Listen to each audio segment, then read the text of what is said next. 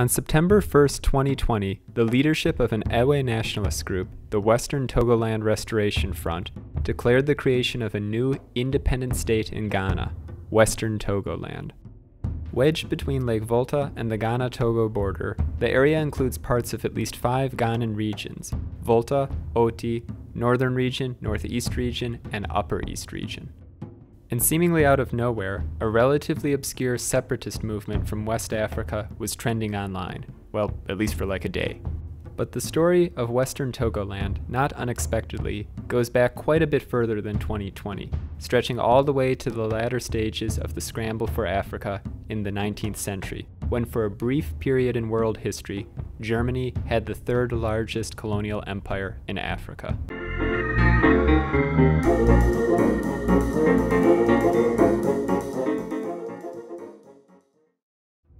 Unique among other European powers, Germany had no colonies of its own by the beginning of the 1880s.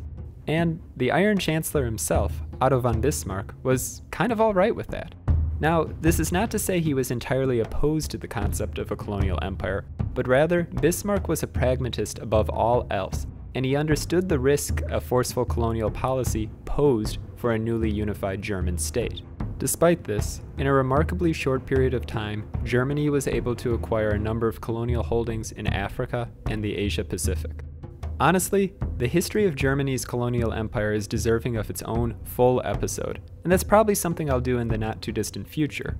The desire to rebuild this empire was very real well into World War II. But for the purposes of discussing events occurring in Ghana, all that really needs to be known is that, among its four colonial holdings on the African continent, there was one colony that stood apart from the rest the Protectorate of Togoland. Situated between the British Gold Coast and the French colony of Dahomey, Togoland was only 130 miles wide on average, but it extended nearly 400 miles north from the Bight of Benin. Within its borders existed nearly 40 distinct ethnic groups, the most prominent being the Ewe who inhabited the south. The Protectorate was established in July 1884, following negotiations between the celebrated German explorer Gustav Nachtigal, then serving as Special Commissioner for West Africa, and the King of Togo. Dominated by extensive lagoons and marshes, German influence was largely restricted to Togoland's coastal regions until the early 1890s, when individuals ventured out into its unexplored hinterlands, where they found oil palms, rubber vines, timber, and dyewood. Possessing a relatively temperate climate, colonial officials were able to foster agricultural development, and cotton soon emerged as the protectorate's most important crop, with an average export of some 500 to 550 tons by 1900. This spurred economic development in the early 20th century, which in turn allowed for the protectorate to become the first to dispense with an imperial subsidy. Kaiser Wilhelm II and other proponents of Germany's colonial venture took great pride in this achievement, often referring to Togoland as the showcase or model colony. However, it should be noted that much of this was achieved in part through a combination of forced labor and excessive taxation. Resistance to German rule, though, was decidedly less pronounced in Togoland than it was in other colonial holdings, where you had events like the Maji Maji Rebellion and the Herero Wars, which ultimately led to the first genocide of the 21st century in what is now Namibia. The petition of October 12, 1913, is a fairly on the point example of this, in which a number of the Protectorate's African elite submitted a petition to the German colonial secretary urging for economic, legal, and political reforms. All things considered, German rule was decidedly more relaxed in Togoland, but with the onset of World War I, it came to an end almost as quickly as it had begun. Togoland was completely unprepared for war, being the only colony in West Africa without its own standing army. Rather, the German protectorate was safeguarded by a paramilitary police force largely composed of African non commissioned officers and irregulars. Fully aware of this, Duke Adolf Friedrich of Mecklenburg the governor of Togoland, sought to avoid war as best he could.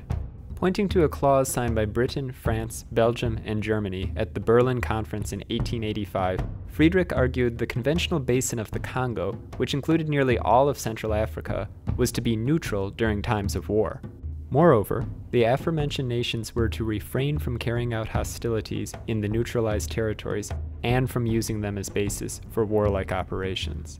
Yeah, no one really seemed to care and the French invaded Togoland on August 6, occupying the town of Little Popo. Less than a week later, the British entered the protectorate's capital of Lomé and proceeded northward. Sporadic fighting occurred near the Chara River, where German forces had entrenched themselves. But after withdrawing to Kamina and proceeding to destroy a powerful radio station, thereby denying its capture to Allied forces, they offered their unconditional surrender on August 26. Togoland was then divided into French and British administrative zones, which eventually fell under a League of Nations Class B mandate in 1922. It remained as such until 1946, whereupon it became a United Nations Trust territory. Roughly a decade later, the French administered portion of Togoland became a nominally autonomous region within the French Union, while British Togoland opted to join the Gold Coast following a referendum in May 1956. Thus, British Togoland, often called Transvolta Togo, was absorbed into the Gold Coast, later becoming part of Her Majesty's Dominions, which on March 6, 1957, at exactly midnight, became the independent Dominion of Ghana. And on July 1, 1960, the Republic of Ghana was declared.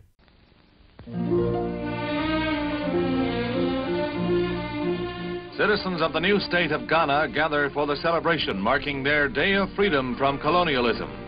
What was once the Gold Coast, a British colony, now becomes an independent Commonwealth.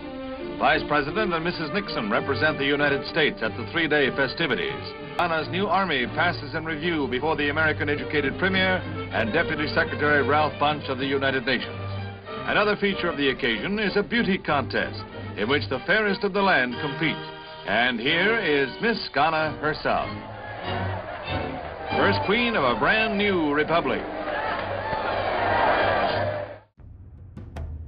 Just a few months before this, on April 27th, Togo severed its constitutional ties with France, along with its UN trusteeship status, becoming the fully independent Togolese Republic. But not everyone was happy. In the former Gold Coast, the Togoland Congress, a political party founded in 1951 which campaigned for the unification of the Ewe people, opposed integration with Ghana. Or wait, is it union? The precise wording in the 1956 referendum gave rise to an argument over its overall lawfulness. There were also questions about whether representatives from British Togoland should have been present during negotiations over the Ghana Independence Act of 1957, which eventually resulted in Togoland, the British portion of it, becoming part of Ghana. And over half a decade later, these questions, along with claims of systemic economic and political underdevelopment, have given fuel to a separatist movement in East Ghana, primarily centered in the Volta region. Perhaps the best known group advocating for self determination and independence of Western Togoland, plus they're a member of the Unrepresented Nations and Peoples Organization, is the Homeland Study Group Foundation. Founded in 1994 by Charles, this guy, also known as Papavi, Members of the group were charged with treason following an unsuccessful attempt in 2017 to declare independence. I really did try my best with the pronunciation, but Google Translate was no help and it was not going to be pretty, so yeah, we'll just move on. Two years later, eight members, including Papavi himself, faced similar charges after a raid on one of their meetings in which authorities claimed the group was in the final stages of preparing to declare Western Togoland independence. Again. Around 80 members were then arrested for intending to demonstrate against their leader's arrest. These charges were eventually dropped, though, and Papavi was released on bail. This pretty much was the situation until September 1st, 2020, when the leadership of another group, the previously mentioned Western Togoland Restoration Front, declared, redeclared, the sovereignty of Western Togoland. After this, the group set up signs welcoming people to their little breakaway nation, but, as things like this do, events quickly escalated, and on September 25th, members of the WTRF broke into an armory, seizing weapons, and then began blockading major ports of entry to the Volta region. Two police stations were also attacked, and three police officers, including a district commander, taken hostage. About 12 hours before all this even began, the WTRF posted photos of a graduation ceremony for some 500 individuals who underwent military training for months in a secret location. So, yeah, things were escalating rather quickly. And a few days later, separatists attacked a facility belonging to the State Transportation Corporation in the city of Ho, setting a number of vehicles ablaze, and an order was given for all Ghanaian police officers to leave the region in 24 hours. Police, nevertheless, would later arrest 30 people, with one civilian being killed in an exchange of gunfire. For his part, Papavi has made clear that neither he nor the Homeland Study Group Foundation was involved in what some have begun to label the Western Togoland Rebellion, stressing his call for dialogue and non-violent resolution of the matter. In all fairness, there are many groups pushing the issue of Western Togoland independence, and many don't really operate as uniform organizations. For instance, take the People's Liberation Council of Western Togoland, which found itself in a weird situation when a video popped up of its members, supposedly, claiming to be the Dragons of Western Togoland Military Army, who had trained some 4,000 people and were now ready to re enter Ghana to achieve their objective of independence by military means. Okay. These are the Dragons of Western Togoland Military Army. About 4,000 300 dragons are trained in a nearby country. They are ready to enter into their motherland Western Togoland. They are not rebels. They are not militants. They are well full, they are well trained soldiers So nobody should be afraid of them. They are coming to deliver their motherland, Western Togoland. The only problem is that the People's Liberation Council of Western Togoland claims these are not their members, nor do they endorse their actions or condone any violence in the ongoing situation. So, yeah, it's really hard to say who is doing what because there doesn't really seem to be any coherent organization structure and there's almost certainly splinter groups within the movement. Where things go from here is anyone's guess, but I really don't think you're going to see Western Togoland popping up on the map anytime soon. What may occur, and what most of the separatists say they actually want, is for the United Nations to look into the matter of the 1956 referendum and whether the people of Western Togoland are allowed a say so on whether they should become an independent nation or at least to have some determination of what their future should be.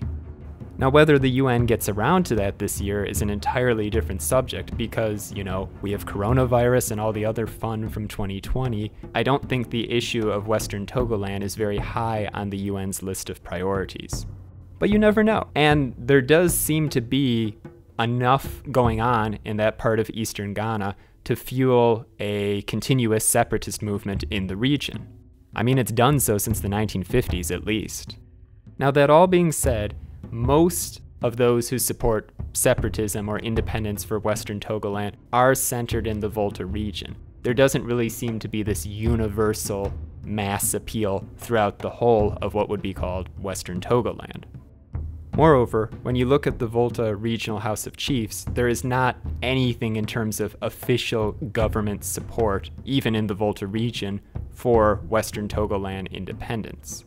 Now, sure, you could argue this is because they're being coerced or something like that, but there just doesn't seem to be this mass support for Western Togoland independence. I'm not saying there isn't any, there clearly is support, and there clearly are outstanding issues in terms of economic and political uh, underrepresentation in Ghana, and those will continue to give fuel to stuff like this. But in terms of actual mass appeal for breakaway from Ghana, I'm just not seeing it, at least at this point in time. But, as with all things, it's a fluid situation, and I don't think most saw the events of September 2020 happening, so you never know. Things could take a turn in a very unexpected way. Anyway, thank you so, so much for listening to my episode. I really hope you enjoyed it. If you did, please feel free to like or subscribe to the channel, and I'll see you again next time. Peace.